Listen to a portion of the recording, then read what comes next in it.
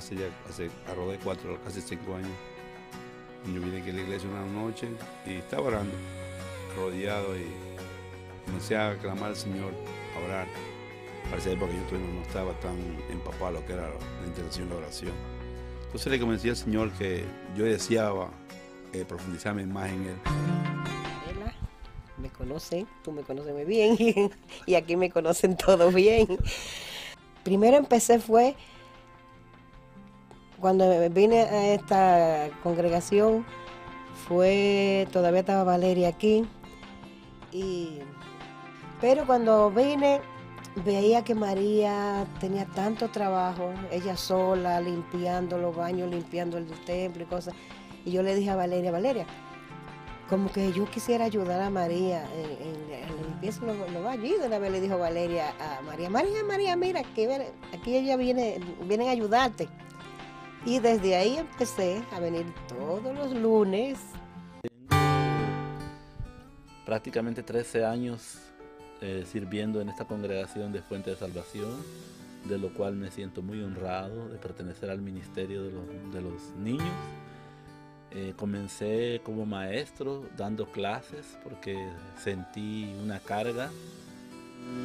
Eh, mi nombre es Axel Jiménez, Ministerio de Sonido. lo que a mí me motivó fue que no, no había sonidistas en el servicio de la y de ahí, ahí comencé en ese ministerio. Bien, sí, eh, mi nombre es Hilario Crispín. Pues bien, yo llegué aquí, por la gracia de Dios, llegué aquí a, este, a esta iglesia. Fue en el 97 cuando el Señor empezó bueno, a pues cuando llegué y fui motivado en, con, por el hermano Elpidio Gori, por Martín Rivera, que me llamaban para mover la silla y así. Y yo me sentía contento porque, wow, eh, el temperamento mío es un temperamento que no puedo estar sentado, ya usted me conoce. y, y desde ahí empecé a venir todos los lunes, lunes, aunque haya nieve, agua, sol, frío, eh, y todavía estoy asistiendo. Porque lo, lo, hago es con mucho amor, con, no para María, no para la iglesia, sino para el Señor. Entonces esta noche eh, entró algo en mí, algo diferente, a buscar la presencia de Dios, a cómo Él enseñarme a porque yo no sabía lo que era la intercesión. Entonces yo comencé a, clamarle al Espíritu Santo que me ayudara y me diera discernimiento, que era la, oración intercesora.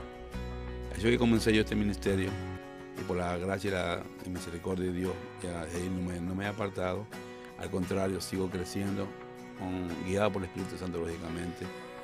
Ya que en ese entonces nuestro apóstol y pastor Pablo Fernández eh, hacía un llamado especialmente a los hombres, porque la mayoría de ministerios estaban, por decirlo así, desempeñados por, por nuestras hermanas las mujeres.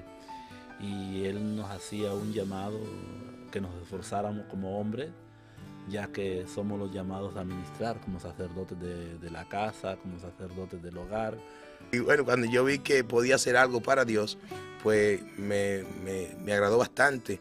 Y yo mismo le volví a recalcar a Martín, a Elpidio, de que cada vez que me necesitaran, que me, me, llamaran, porque me agradaba. Entonces Martín me dijo una palabra que me motivó bastante, me dijo, hombre como tú necesitamos aquí, porque nosotros necesitamos quien de veras sienta y quiera ayudar en el servicio para la oración.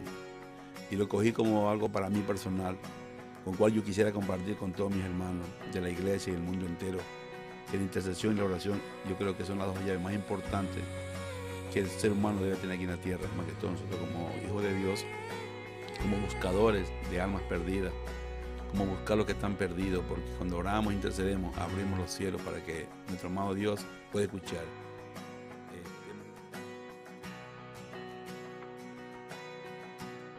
Después de pruebas, los tiempos difíciles, lo que siempre me ha motivado a seguir es que esto yo no lo hago por mí, ni para el pastor, ni para el hombre, yo lo hago porque es para Dios, yo lo hago para Dios.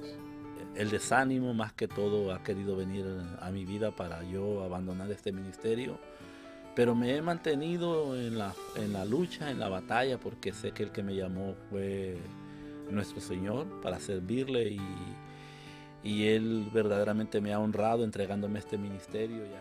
Droga, hermano, no es fácil, porque la batalla la tenemos en la mente y comienzan los ataques en la mente, la mente personal. Y a veces yo lo quería dejar porque me busco alrededor mío y no encuentro a nadie. Y me encuentro solo. Aunque yo sé que no estoy solo porque cuando yo comienzo a orar, le digo, Señor, manda tus ángeles administradores para que Él me ayude. Pero en la carne, uno físicamente necesita a alguien al lado de uno para que lo pueda fortalecer. Y gracias a la misericordia y el amor de Dios, me mantengo hasta el día de hoy porque eh, Él ha puesto en Dios mi corazón una disciplina. Levantarme a la misma hora todos los días.